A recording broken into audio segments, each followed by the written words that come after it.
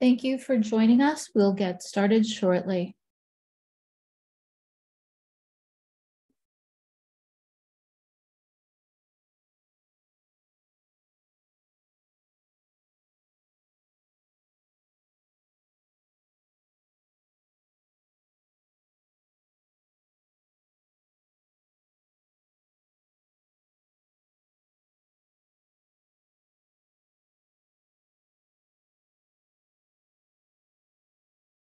Thank you all for coming. People are still coming into the room, so we're just going to wait a few moments. I also want to uh, thank all of our LinkedIn people who are watching us as well.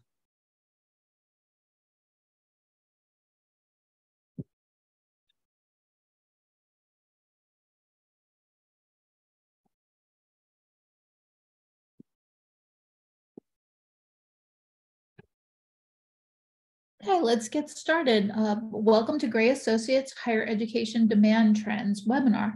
I would like to welcome Jerry Silberman, Senior Vice President of Administration and Finance at Elizabethtown, who will be joining our very own Bob Atkins, our Gray CEO, program evaluation expert, and best-selling higher education author.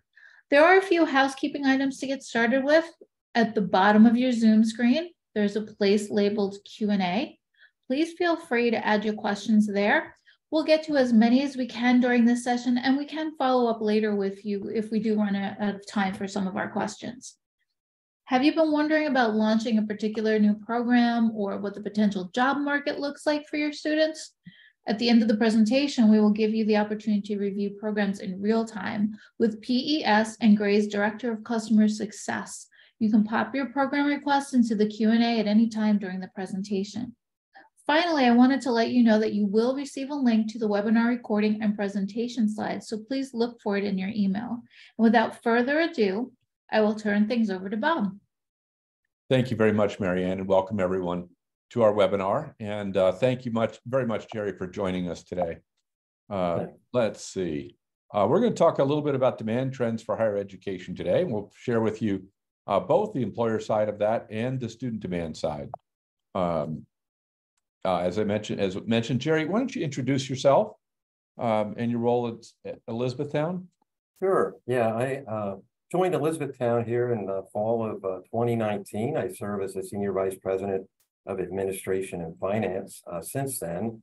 Uh, so that's that's after a career at Kutztown University, which is a regional state university, which I was there uh, nearly 30 years. So it's been quite a change here at Elizabethtown, but, it, but a great one. Thank you. So let's uh, take a look at what we're up. Um, today we're going to talk a little bit about data that we use in program evaluation and uh, just a little bit about Gray before we get started. Uh, we are the proud parents of a program evaluation system. Uh, system is more than just data. We have a lot of data, um, and we'll talk about some of that. But that data has to be put together in software to make it usable and uh, obvious how to interpret it. And then you need to wrap around it the right facilitated processes. So let me walk around this for just a second. We'll get into the data. First, you need to understand your markets uh, because if there's no market for your program, um, it, it's a little bit like a tree falling in a forest. Uh, you'll end up with few students, and the students you have might not get jobs. So that understanding of student demand, um, employment opportunities, and competition is, is a vital part, and that all fits in markets. Then you need to understand the revenue, cost, and margin of your academic programs, not because every one of them needs to be profitable, that's really not the case, um, but you need enough ones that make money to subsidize the ones that are important to your mission that don't make money. Uh, of course, your programs need to meet your academic standards, whether that's internal standards for number of students who pass, or external standards, uh, that is tests, for example, an LSAT or the um, uh, eh, the student licensure, uh, the nurse licensure test. Um, you know, your folks that take those programs have to be able to pass the associated tests in order to be successful in their careers. Um, so, uh, mission of the institution also important. Um, in fact, the central point here um, is to make sure that the programs you're offering, the margins they're generating, are sufficient to sustain and enhance the mission of the institution all this can't be done by a machine. Uh, you need the right people involved in the right process to make good program decisions. You need their judgment, their knowledge of your local market, and importantly, their knowledge of your institution. So designing a good process, getting folks into it, being very open and transparent about how things are being evaluated and who's involved, very important part of successful program evaluation. Now let's turn to the data itself. Um, we will get through one program in depth and some general statistics. Uh, if you would like to see the data on another program at the national level, please go ahead and enter it in the Q&A or the chat. Either one will be monitoring, and we'll see if we can't get to that at the end of our presentation. Let's focus in on student demand. And while we're doing that, let me just make a point up front. Oftentimes, people focus almost exclusively on employer demand for academic programs and are making decisions. That's an error. Uh, if students aren't interested in the program, it's very difficult to fill the seats. So you really need to know both. It's not that employment's not important, it is, but student demand is also an essential part of program evaluation. Now, we think about student demand, they're indicators that really tell us about different points in time. So Google, as this entertaining character uh, illustrates, is forward-looking. I've never quite understood exactly what this icon is. I think that's a selfie stick he's holding, but conceptually looking forward. And the Google data does that because it shows us what people are searching for now. We're planning to go to school three, six, 12 months from now. So it gives us a snapshot. It's not a five-year future, but it's a few months out from where we are today. We look at enrollment, that's pretty much current. Uh, it's updated three times a year. Uh, we currently have spring enrollment data, which we'll share today. Uh, so it's it's pretty consistent with what you're going through at the moment, and it shows us very clearly what students want um, right now. What's been the primary source in many program analytics for a long time is IPEDS, the Integrated Post-Secondary Education Data System. Unfortunately, that's really backwards looking, not forwards looking. The most current data is from 2021, and for a four-year academic program, IPEDS is going to be showing you what students were interested in when they picked their major. So that's going to be three to five years before they graduate. So we're really looking at data, uh, if it's 2021 completions, from three to five years before that, or earliest possible, 2018. That's now five years ago. That's really old data in terms of what students are looking for. It's good information if you want to know approximately what the total size of a program is, um, but very weak information if you want to know what the trends are. For trends, uh, you look at enrollment and Google. All three are helpful. And, and of course, we keep all three. We won't share IPEDS with you today just because it only updates once a year, so it's not very informative on a monthly basis. We look at Google and what's going on. We report on three years worth of data. The light blue here is 2021. The darker blue is 2022, and that green color is 2023. Um, as you can see, it's up um, 3%. Now, the rate of increase is slowing.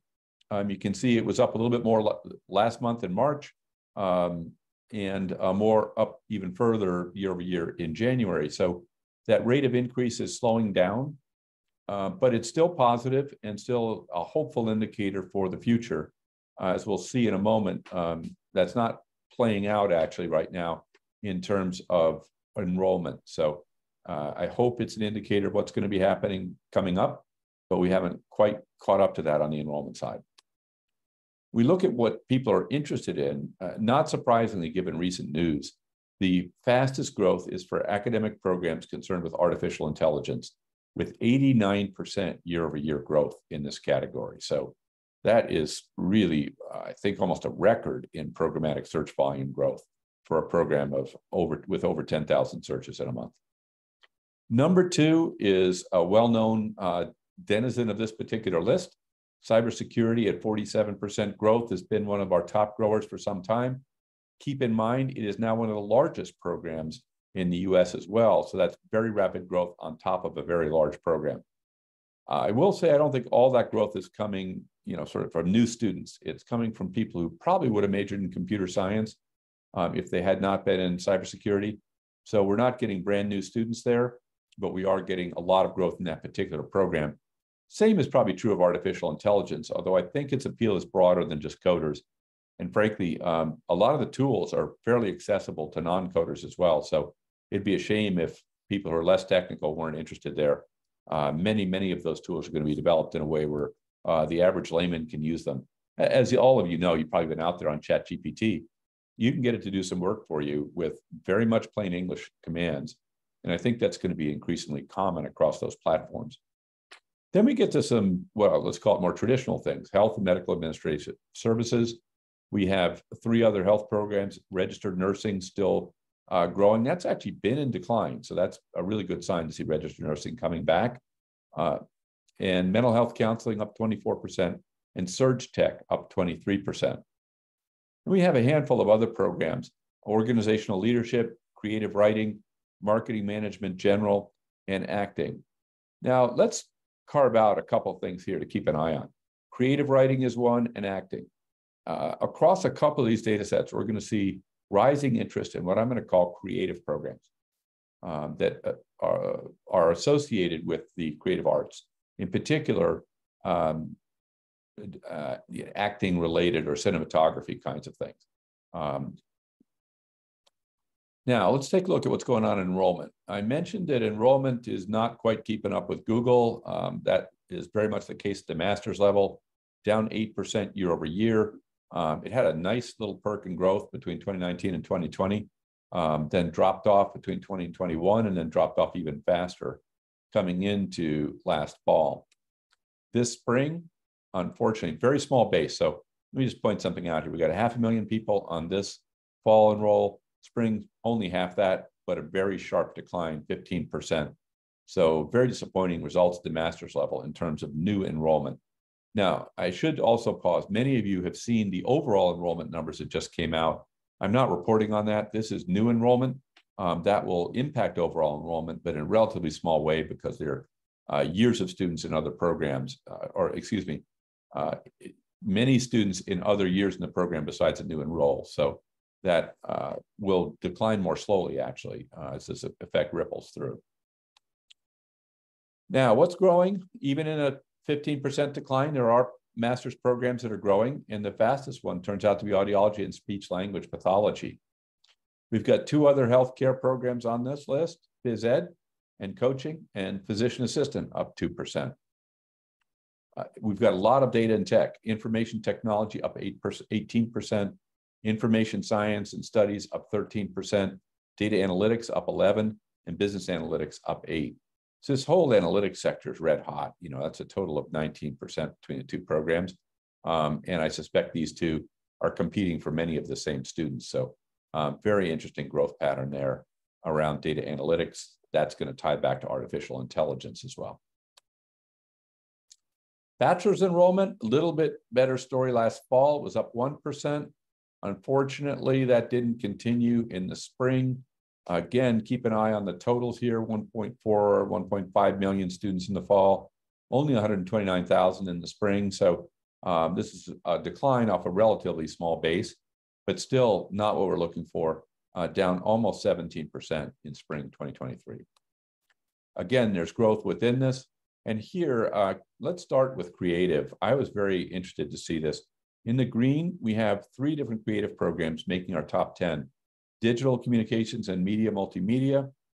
Uh, and, where's my other one? Uh, cinematography up 20%, and art and art studies up 11%. So it seems to me to be a, a increasing interest in uh, programs associated with, with creation, with creativity. Um, then we have data um, and, and, technology. Um, aerospace up 34%, information sciences and studies up 16%. And here's our data analytics again, up 15%, business analytics up 11% at the bachelor's level. So uh, again, these two are very, very hot. Um, and then there's everything else.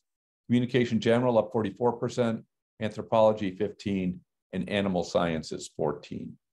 So we've got some uh, pretty consistent trends here in some ways, especially around business analytics across the different degree levels. Um, data remains hot. And then we have, I think, these creative fields that are cropping up pretty consistently across degree levels and across our different measures of student demand. So what's going on out there in the MOOCs, the massively online open uh, courses or curricula?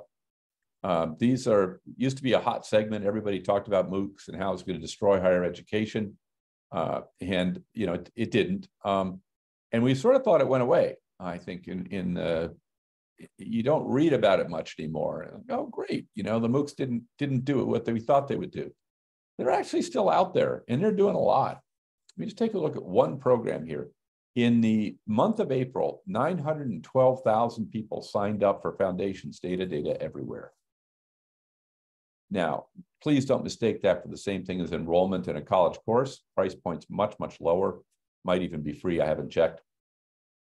Um, and many of those people will never get past the first class. In fact, they might not even attend the first class. So it's not the same as college, but it's still an enormous number of people who are coming, getting on these platforms and learning in a new environment, perhaps getting a certificate. Um, so this is a very important competitor very difficult to compete with because of their economies of scale. And um, for most colleges and universities, the cost of acquiring a student um, would more than eat up the revenue from the student taking one course. So it's a, a, difficult sector in which to compete, even if you had the online offerings to play in some of these fields. Uh, there are ways to do it, in particular, if you offer courses to employers and the employers in turn recruit the students for you. Uh, that gives you very low entry cost for a given course for the marketing side. Um, so that may be a way of playing in this course specific space. Um, or put your courses on the platform. I'm not sure what the rev share is there, but that often is used by schools as a way of actually recruiting students. And they'll allow them to take a couple of courses and then enroll in the program at the institution at whatever the regular price is for being in that program. Um, so that can be a way of using the MOOCs to your advantage. Now, we've got a couple of healthcare programs on here, um, the science of well-being and introduction to psychology. Um, data and tech, though, dominates what people are interested in in the MOOCs. It's like the medium um, dictates what the, the interest. Um, so data and technology, foundations of uh, data, uh, number one, foundations to user experience, number three, tech support fundamentals, still almost 400,000 students in that. Uh, crash course on Python, process data from dirty to clean, and finally, um, HTML, CSS, and Java for web developers with over 200,000 people who enrolled in that just in the month of April alone. And we have a couple of others, learning how to learn and uh, project initiation, starting a successful project, both with over 200,000 new enrolls. Bob, there is a question uh, based on a, a, previous slide, please. What is your take on the communication percentage increase in enrollment? Could it perhaps be another creative field? You know, I was thinking that as I said it. I think that's possible. Um, it's also a variation on business potentially, since a lot of that's business communication. Um, so that's one, I think it's a possible answer. One of the challenges we have is while we often know what the data is, uh, we, all, we don't really know why people have made that choice. So I can only hypothesize with others. Um, and I do think it's possible that that's writing that, that little spike we're seeing an interest in the creative fields. I, I think what's going on, if I were really going far out, I would say um, we're looking at people who are interested in becoming influencers on the web and they want to accumulate the skills in college they'll need to be successful there. So anything you can do to position some of these fields around the web internet and uh, the whole influencer economy, I think would make it appealing to students. I'm not sure it's the best possible career choice for them, um, but it certainly is something that's of great interest in the short term. And I think longer term, whether they become a, personally become an influencer, learning the tools of that could be helpful to them in a business uh, business career, or specifically in marketing communications in the future. So speaking of jobs, let's take a look at what's going on out there. If we thought the drop in enrollment was concerning, uh, the drop in jobs is getting to be a real attention getter. Um, now, this isn't quite what it seems. Last year, particularly at the beginning of the year, we were still coming out of COVID and the level of job postings was extremely unusual and very high. So keep that in mind. We're anniversarying very big numbers, artificially high coming out of um, the recession that was caused by COVID. But I start to look at these and they're they're relatively no, lowish numbers. And now we've got month over month declines taking place. We're down 36% year over year. Now 500 change thousand job postings is still a healthy number, but I do worry that um, we are slowing down job growth. And if this continues, eventually we could create a recession. I don't see that right away. Those job numbers are not terrible, um, but they are a concern. Uh, what are people looking for? Uh, general operations managers leads the list. I don't remember seeing this um, in number one before, um, with some 51,000 job postings. I suspect what's happened is they're trying to refill jobs that went empty uh, during COVID and that they're still playing catch up. Not easy to fill a general uh, manager job because you can't just hire one off the street. Um, obviously, they need experience. So, um, you know, you've, you've got to grow these people.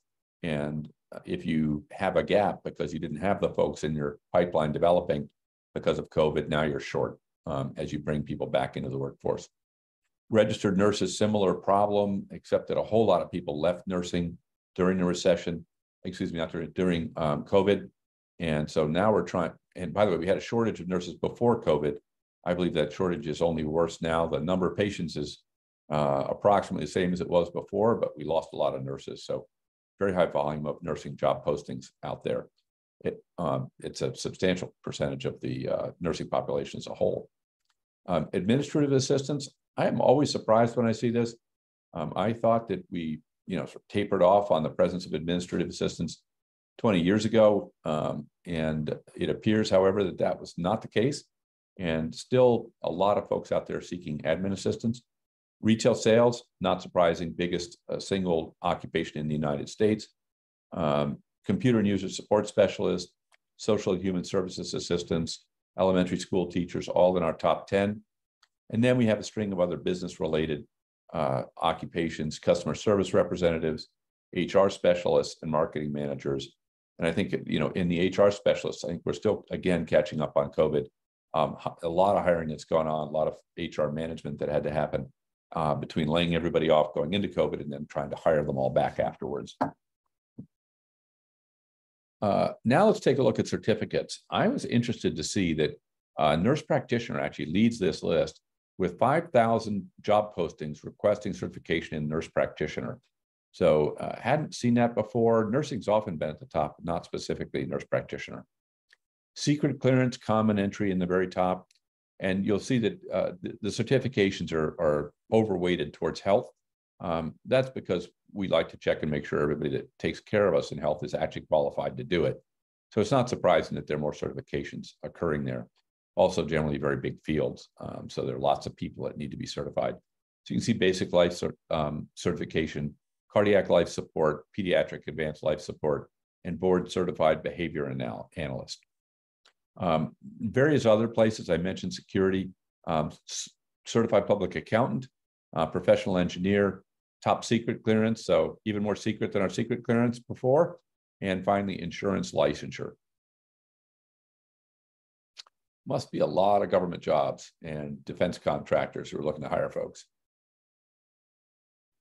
Now let's take a look at the program of the month. Um, this is going to come straight of our, out of our program evaluation system. And we're going to look at four factors, student demand, employment, competition, and degree fit. We think those are the four key elements when you're thinking about the market for an academic program. When we do this work, we rate and rank programs on about 50 variables. Um, and that leads to uh, an overall ranking. And then you'll notice that we've percentiled things. So this 96 is the percentile. Well, percentile of what is a reasonable question. We look at about 1,500 programs so the top program here is in the top 4% of those 1,500 programs, or it's one of the top 60. So that's what the percentiles mean. You'll notice it's color coded. Um, the dark green means it's 96 percentile or higher. As we go from dark green to red, uh, things are getting going from great to not so great. Um, so green is good, red is bad. Why do we color code? Because it allows you to look at a page like this and very quickly discern where the hotspots are, what's what's really going well, and where there are areas of concern.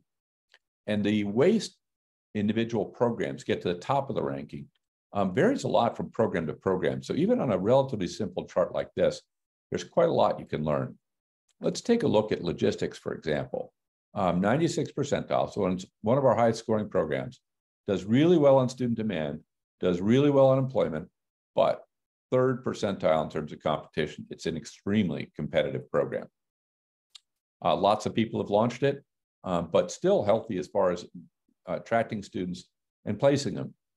Uh, let's take a look at a very different program. And many of you, for example, may make your decisions uh, primarily based on employment. Every so often you can run into a real problem. So uh, this is an extreme case, but we've got very good employment score here at 87th percentile. Um, unfortunately, we have almost no student demand for packaging services.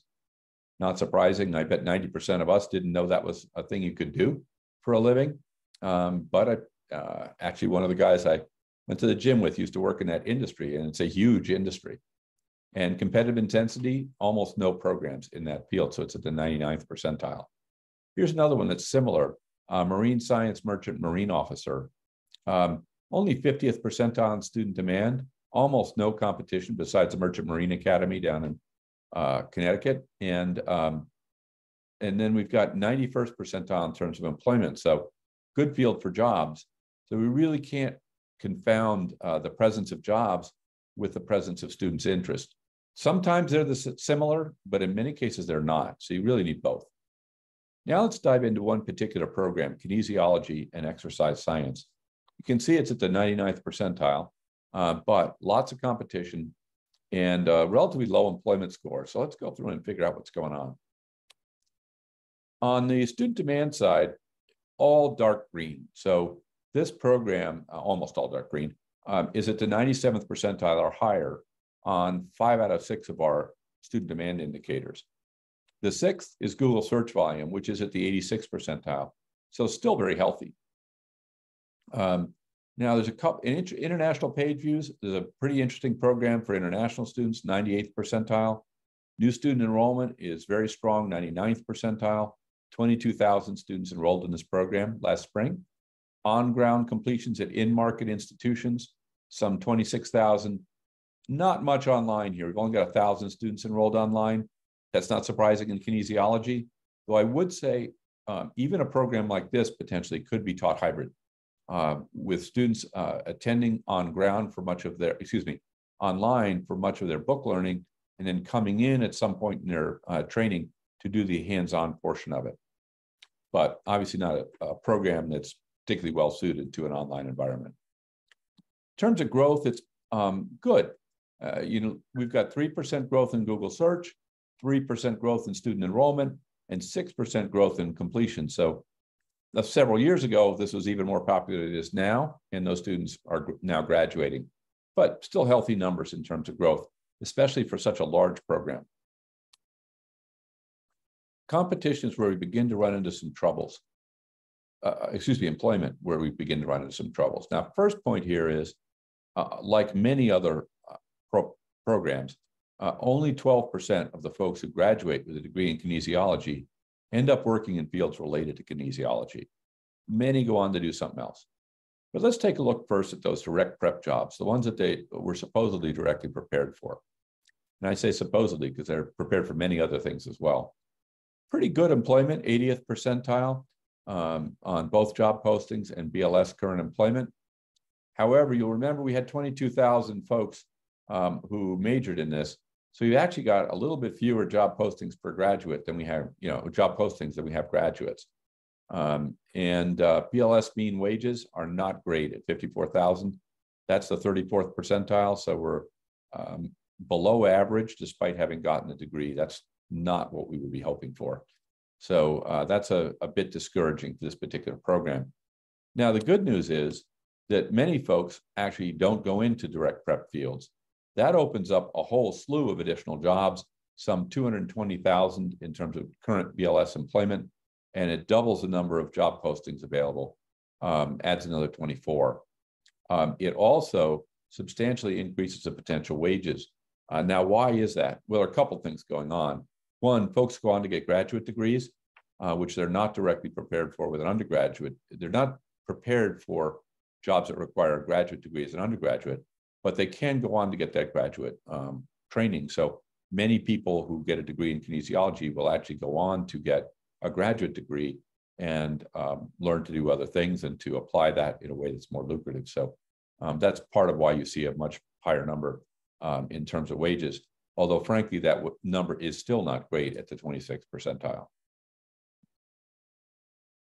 Uh, I mentioned that people don't always do what they're told. Uh, they don't always go into the occupations for which they're directly prepared. In this case, uh, according to the National Center for Education Statistics, they're not prepared to do a whole lot. Um, they only are prepared to go into three occupations. As you can see on the right, that's kind of not true. Um, kinesiology majors, according to the American Community Survey, go on to do all sorts of things, some 483 different occupations. The top 10 are here. They become middle school teachers. They go on into management. In fact, we have someone who was trained as a personal trainer, went on and got a master's degree, who's now working for us and doing extraordinarily well. So uh, just because you studied one thing doesn't mean you can't go on and do something else. Here we see fitness trainers, not surprising. A little bit disappointing to see a lot of retail salespeople. Don't really need a college degree for that. So we're always hope to see very, very few in retail sales, um, not retail management, but retail sales. Uh, when we're looking at the fields people go into with a college degree. We've got some registered nurses, secondary school teachers. Some people go into sales. Some people go on and get their degree and, and become physical therapists, assistants, or aides, coaches and scouts, and customer service representatives. So is it it is a degree that allows you to get into a lot of different fields um, because it gives you uh, some good generalist training and a college degree. Well, it gives you okay generalist training and a college degree, depending a little bit on what gen eds that students are required to take before they go specifically into kinesiology. Um, competitive intensity, uh, very competitive program. Almost everybody has it, 546 colleges across the country. The ones that didn't have it added it, some 39 new programs added last year. Still pretty good size, 23 completions a year for the median school. Uh, that's going to be about 100, 120 students enrolled at any given time. So healthy enrollment. And importantly, the median program size is still going up, up 4%. Um, so why does that matter? I begin to think a market is saturated when the number of people enrolled in the median program starts to go down. That means the people are in the market are having trouble filling their seats. In this case, it's still going up. Um, so it's a it continues to be an opportunity for growth despite the level of competition. Now, not an easy opportunity. Uh, we're at the 88th percentile in terms of Google cost per click. And this is a metric where a high percentage is not good, percentile is not a good thing, means it's more competitive. Why does Google cost per click tell us that? Because people bid for those clicks. So the, the more expensive the click, the more players there are in that space competing for them. The competitive index is above average, uh, but it's not toxic. It's at the 64th percentile um, at 0.35. Google's uh, ratio is on a zero to one scale. So we're still below average in terms of uh, other thing, other keywords that uh, people compete for outside of this particular program. And finally, online, not a significant factor in this space yet. What kind of degree do you need? Well, bachelor's is the most common, with 83% of graduates uh, with a bachelor's degree in kinesiology. In terms of where people go to work, um, it's split between bachelor's and master's degrees. So, um, and actually a pretty healthy proportion there, 13%, um, actually getting a doctoral degree, degree probably in physical therapy um, or related fields. So um, there's room to go on and get a graduate degree, but certainly a bachelor's is a good start. Who takes this? Um, and it might seem odd to look at the uh, demographics of an individual program, but as we've studied it, the demographics actually change a lot from program to program. I'll give you a very obvious example. Um, nursing tends to be 90% female still. Uh, no good reason for that. There's no reason men can't become nurses. And in fact, it's a, a very good job. And I think a lot more men probably should. Um, it would be a better career than what they may have chosen, but they don't. Um, now, please be careful. Um, I'm not advocating that these numbers should be what they are. Um, you know, that there's no reason for uh, a program to, to skew towards one demographic group or another. But there are cultural biases and probably some steering that goes on of their peers and possibly even advisors in terms of what programs people should take. I suspect most of that steering is unconscious, um, but nonetheless, these stereotypes persist. So in this case, um, it's 59% female, 41% male. Now that may seem skewed female, but that 59-41 is about uh, the average across all of higher ed. So it's normative here. Um, it's 48% white. And actually, I think when you look at it, um, this program in particular is basically pulling about the average for the United States across most demographic groups. So if you will, it's very neutral. Um, and uh, in that sense, it's very interesting if you haven't got it or you're recruiting, because it will pull in a diverse group of students um, by its nature as a program. Um, so I think that's, uh, you normally don't see this. You'll normally see it skewed towards one group or another. So finding a program that's neutral is actually a positive, I think. And of course, we put that all together on a page for you. We call a program scorecard. Um, one of the things I'm working on is to be able to give you this not just in numbers and colors. Um, we will have a text version of this so you can read um, the story uh, probably by the end of this year. Um, I think that'll be a general trend as we apply generative AI to the analysis of numbers. You'll be able to get plain English ways of interpreting things in addition to all these numbers. Uh, we do this because having it on one page is helpful.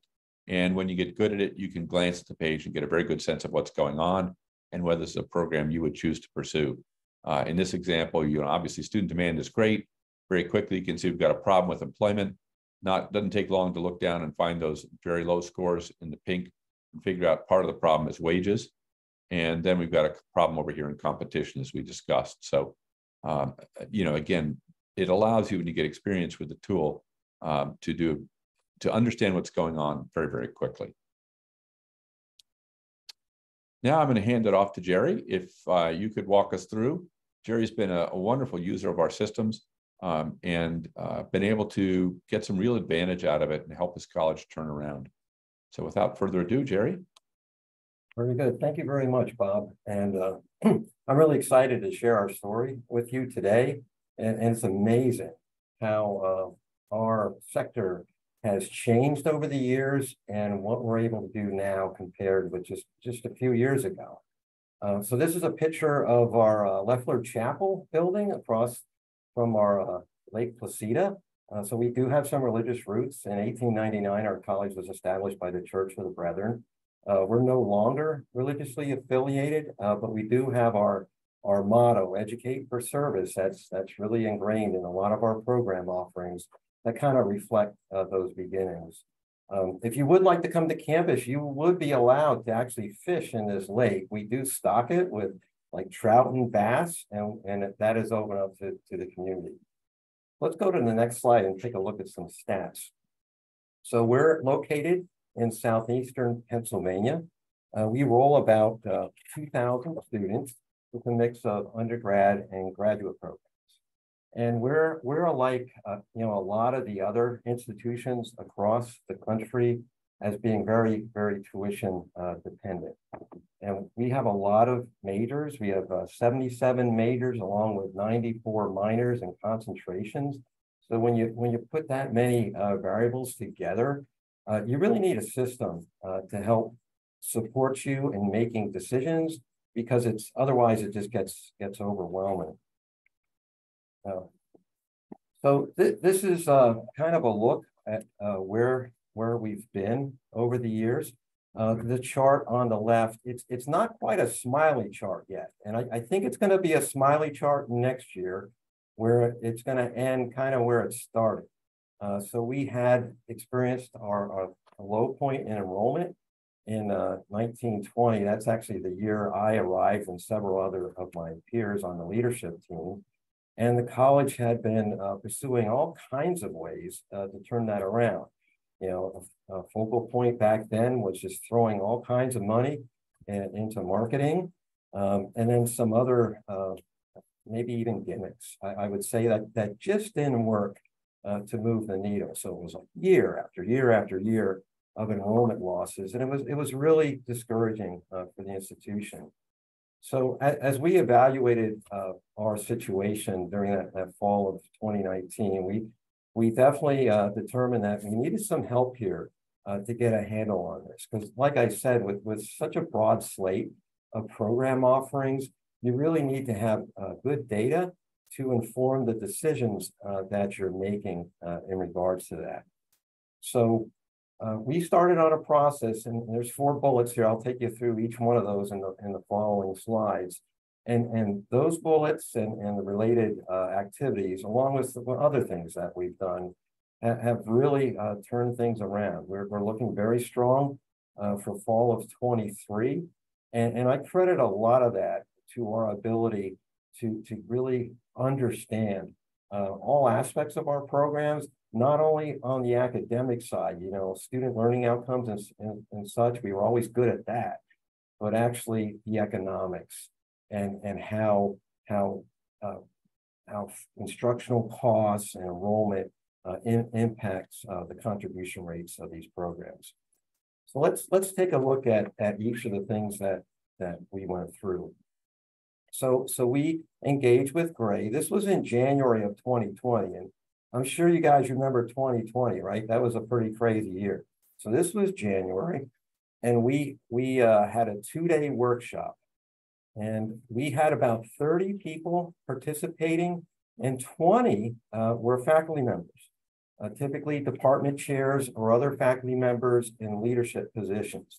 So it was an extremely collaborative process. And day one was really fun.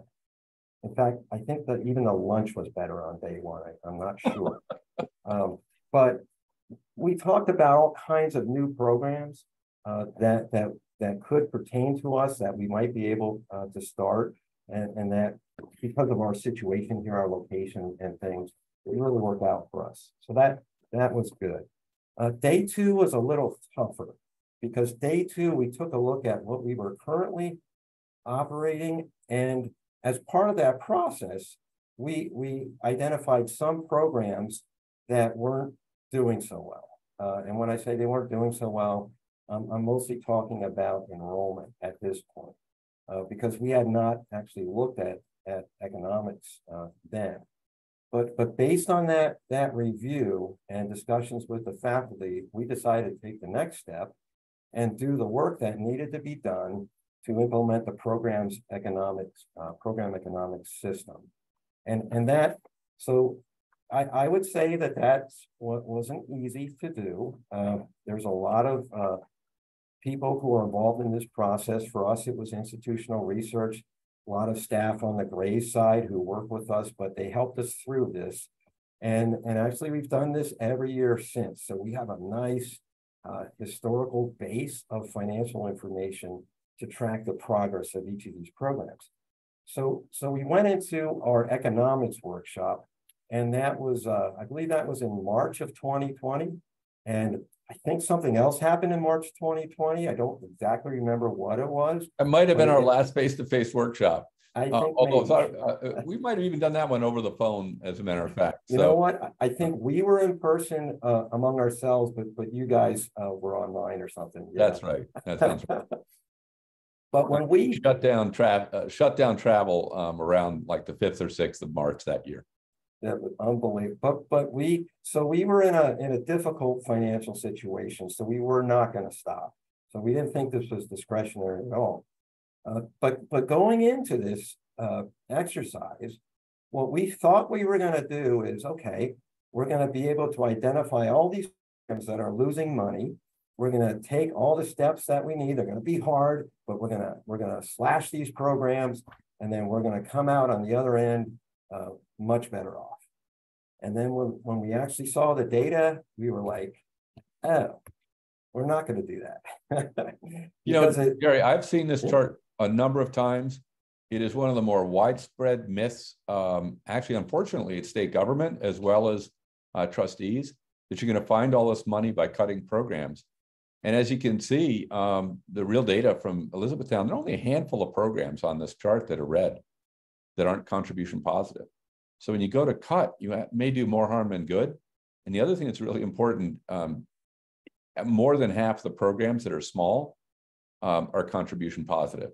So if you cut based on size, you're going to actually make things worse.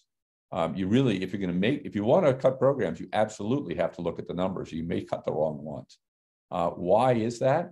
Because the revenue from students is often greater than the cost of the instructors, and the students may not show up if you cut their program.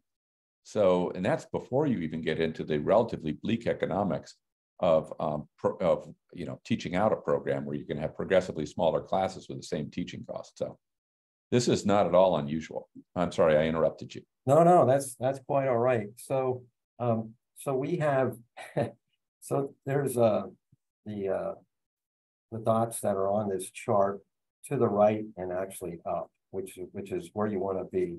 Um, there's seven of them, uh, seven, and they're all professional programs. And they account for about sixty percent of the net revenue, actually the contribution, uh, that comes into the college every year. Um, so all the other programs, like the seventy other programs, so it's like the seven making a, uh, a really good contribution, and then a whole bunch, uh, not doing quite as well. Um, so, so the faculty saw this and, and, and, and when, when we had this meeting, uh, we, we actually established groups of faculty members because there was pretty many. I, I mentioned there were like 20. And uh, so they had a group of, uh, I, I'd say liberal arts departments, okay, like English and, and things like that. And, and I was assigned to that group. And, and I know, I don't think that was done by accident because these, these were the departments with the most uh, heavy fiscal challenges. And uh, so that that was not a fun day at all because it, it, started out really well, but you, you, go through some difficult conversations because as a faculty member, they've never seen this information before. Okay. And and they're like like revenues and expenses, contribution stuff, that's not in their vocabulary. So like getting them exposed to this, talking through some of these difficult conversations uh, was was actually a really useful part of, of what we did. So so what we decided to do, what we actually had to do, was determine ways of essentially uh, increasing the contributions of the programs that are that are lower on this chart. And you do that by improving your curricular efficiency. Uh, so you can do that in, in two main ways you either increase enrollments in those programs that that will sure uh, help a lot, or you can reduce your instructional costs. So we decided uh, we wanted to pursue both. Um, and in ways of uh, reducing our instructional costs, uh, we implemented a uh, distinguished professor program. Now we had at the time eh, maybe about 115 full-time faculty members. Um, and um, you know, many of them had been at the college for, for quite some time. They all had tenure, of course. Uh, we rolled out a uh, distinguished professor program. So as, as part of this program, we offered faculty the ability to, uh, to teach half-time, and we would compensate them half-time. They get to keep their office, they keep their email, they can visit the library, the fitness center, all that, all that other stuff. Uh, and then after that first year, uh, they can continue to teach uh, up to 18 credits uh, based on the college's needs at our highest adjunct rate, which is a lot less uh, than they were making, of course, as full-time faculty members. Um, the, uh, the, the term of the agreements was, three years, um, and then that was actually renewable for another three years and it was evaluated every year. So basically the faculty member had to behave. So there's there's like standards of conduct, things like that. They had to maintain their certifications if, if there was, was any. Um, and they, many of them uh, took advantage of the program. Actually, as of as of today, I think there's a total of 11. Now, 11 might not sound a lot uh, to you, but we current our co current complement of full-time faculty is about 105. So 11 compared to 105 is a big number. You know, it's over 10%. Uh, so this and and what's what's even better about this, these individuals were able to exit the college with dignity. You know, their names are on a plaque. They have their office. They can stay connected with their colleagues. If they do a good job teaching, if they behave themselves, we'll probably continue to sign them up because by and large, they're really good professors. So, so being able to, to, to keep their institutional knowledge, is great. Um, so, so we, we did that. We, we made some other changes. And as a result, uh, we reduced our average student credit hour cost. Uh, this also includes the impact of the enrollment changes from $251 a student credit hour down to 219. So that, that's a reduction of 13% over three years. And, and consider over that three years, like costs have gone up. So, so like the real decrease was, was even, even more than that. So it, it was a really, really good, uh, really good exercise. Now, as I remember, there's a key part of that, which is uh, effectively reducing the teaching load um, by looking at this at the course level um, to identify courses that were low enrolled um, and begin to trim those back so that uh, your faculty would generally be teaching to fuller classrooms, um, which is a, you know, honestly, when you get down to it, the one of the major drivers of academic cost uh, per student credit hour is simply the number of students in a course. Does that ring a bell? Oh, absolutely. Yeah, th there were many things uh, that we did, and uh, we could spend all day talking about them. But but yes, we went down to the individual course level. We continue to do that um, because if, if you don't do that, uh, those those inefficiencies, even though they might be a little bit in regards to a course, you have so many courses that it adds up to a really big number. So yeah, you, you do have to look at that level of detail. Yeah, that's our understanding of where you find the savings, um, rather than at the program level. And it's a little less contentious um, as well. Okay. Let's take a look at the next slide. So, so this is a uh, a resource that was put together uh, by one of my colleagues, uh, Susie Mapp. She's our associate provost here, and this takes um, the Grays data from from a number of screens, puts puts them on uh, one one screen here, and we provide this to our deans uh, when we're meeting with them, uh, talking about our annual uh, program evaluation process. And, and, and we go through, and, and as you can see, there, there's a column here that says cost drivers. That's, that's when we're looking at individual courses that are impacting the economics of each one of these programs. So we, we go through all this stuff and we talk about it. And our and our goal is is to address like like outliers. So so of course our, our immediate attention goes to those red marks. And uh, you know, we, we go through each of those and try to identify, you know, help our deans uh, identify ways of improving uh, those programs, the, the, courses and the program's financial performance. A lot of our deans, uh, we, we have like like six deans now they're they're really busy, right? So they they do have access to the to the Grays data. Uh, some of them are better than others that actually going in and looking at this. So we we we actually uh, help them do that.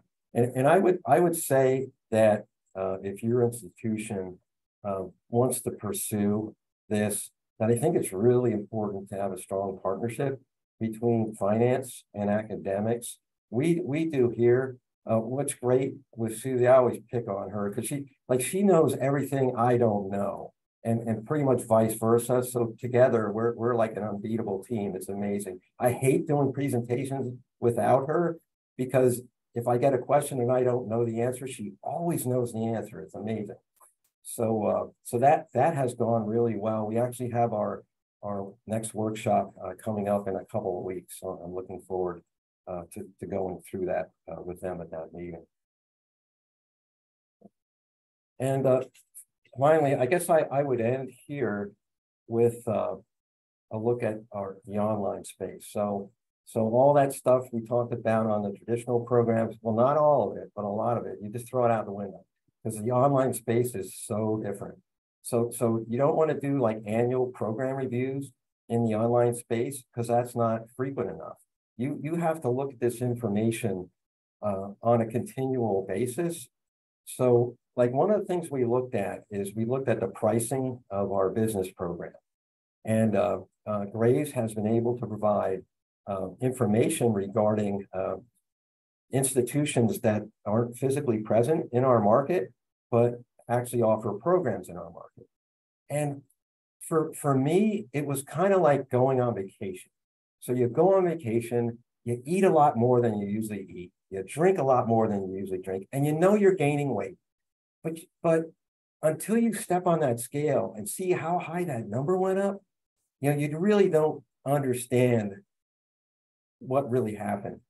And what and we knew intellectually that there were these national providers in our regional market, but it was just kind of like a, a thought that was out there. But when you saw it like this, you saw like all the all the completions uh, that they've been doing, and so the first thing you feel, well, the first thing that that that we felt was maybe we were offended, okay, and and this might be a typical higher ed uh, response, especially for those of us who have been in the industry for a while. Like, how dare they do this?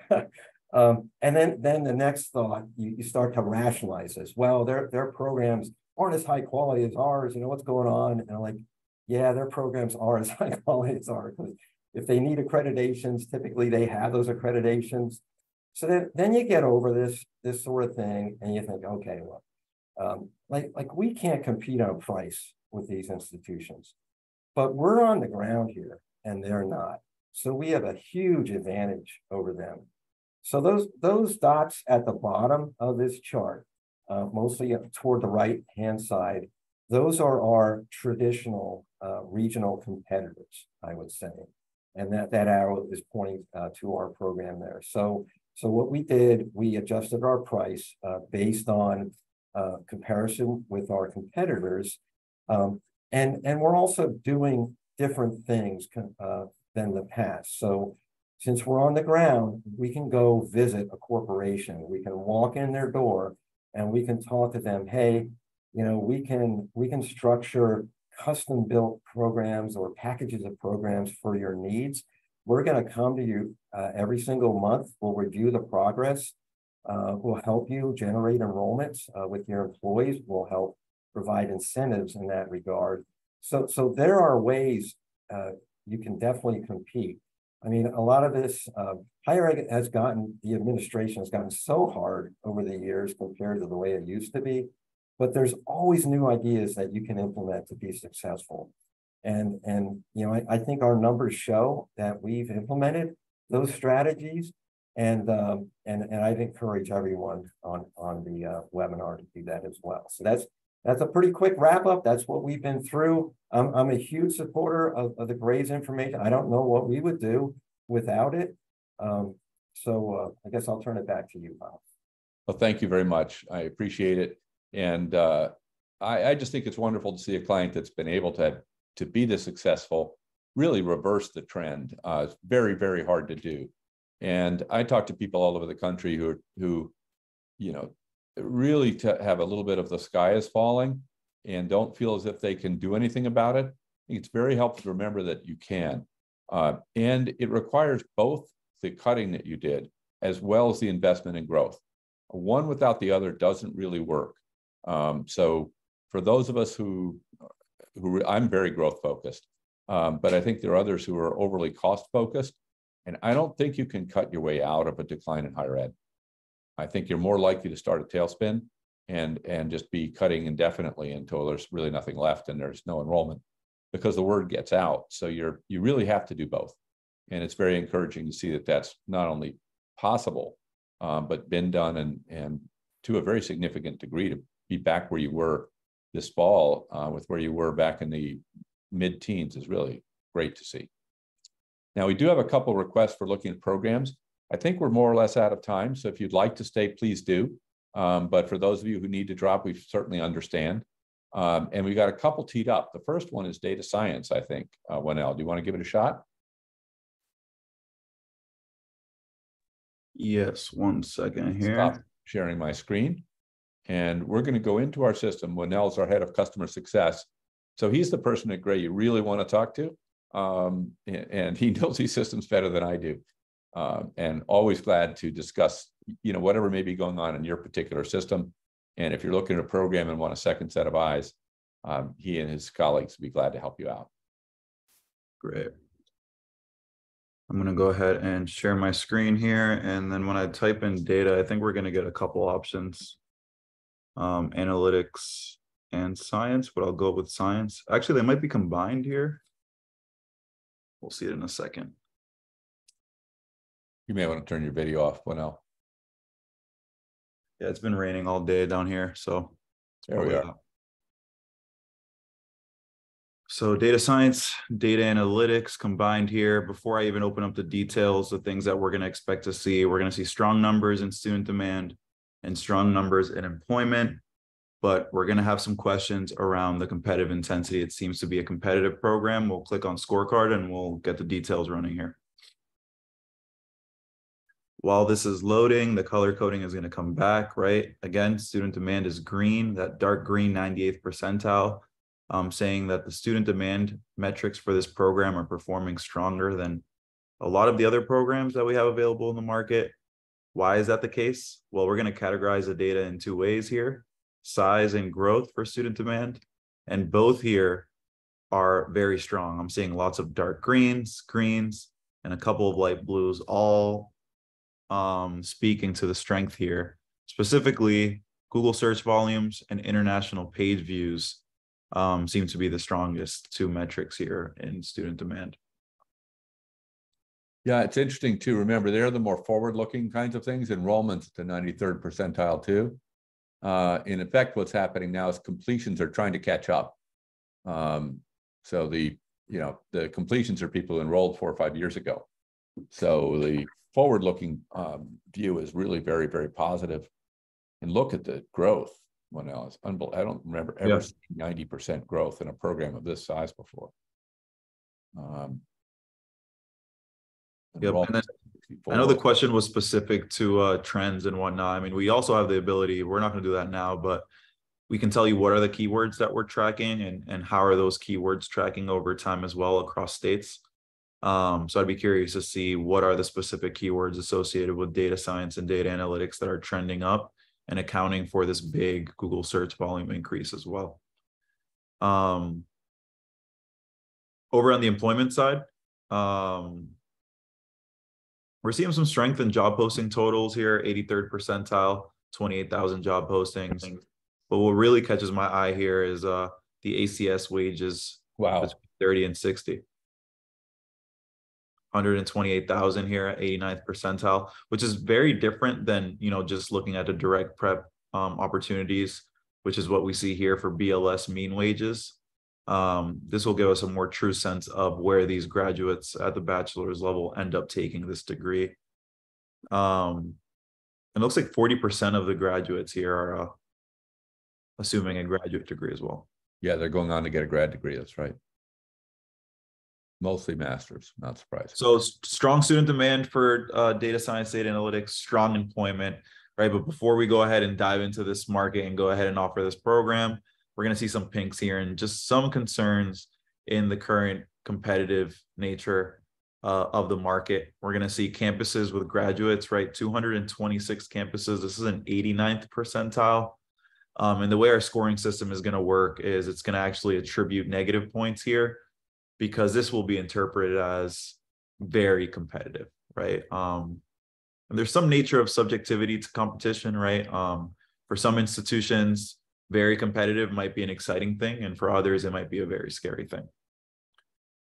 Um, so we're going to go ahead and level that off or balance that off with an understanding of the average and median program sizes, where sure, this might be very competitive, but it seems like average program completions are still pretty strong at the 82nd percentile, but median program completions are right around average at nine here.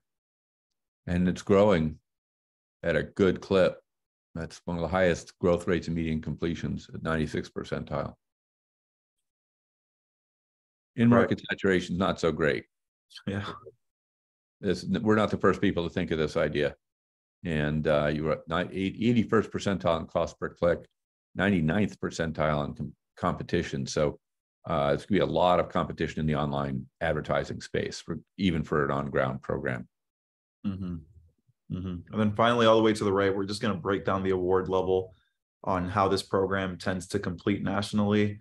And we're going to see 37% of all completions here at the bachelor's level, and then 50% at the master's level, right? So this will give you some insight into, know, if we're going to enter this market, at what award level should we consider entering? And if we already exist in this market, is there an opportunity for us to expand into a different award level? Um, and we don't usually do this here, but just because the question was around trends, I'm just going to click, uh, click, uh, click on the competitors tab quickly. Um, because here we can really see kind of that linear growth trend from 2016 all the way up to 2021 in terms of overall completions here. Okay. Any other programs out there?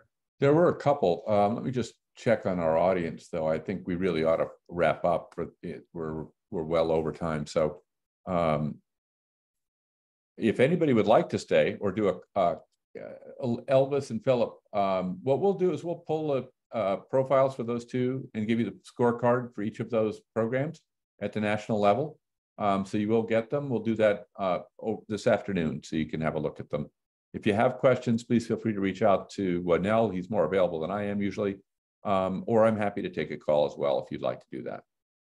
Thank you all so much for joining us this afternoon. And a special thanks to uh, Jerry Silverman. Really appreciate your, your being on here with us and sharing how you turned around the situation at, at E-Town. Uh, great story.